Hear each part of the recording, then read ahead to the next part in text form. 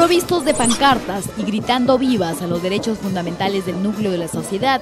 representantes del Instituto de la Familia en la Libertad realizaron un singular pasacalle por inmediaciones de la Plaza Mayor a fin de sensibilizar a las autoridades para convertir el Instituto de la Familia en un ministerio.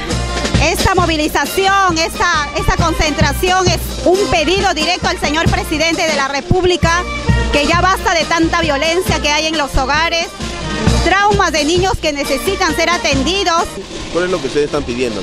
La creación del Ministerio de la Familia con urgencia y si no será a través de esta movilización, vamos a continuar y salir a las calles a pedirle al presidente de la República a través de la doctora Mercedes Araz, porque la doctora recepcionó mi proyecto. Cotrina Miñano indicó que este pasacalle cuenta con el apoyo del gobierno regional y diversas autoridades locales.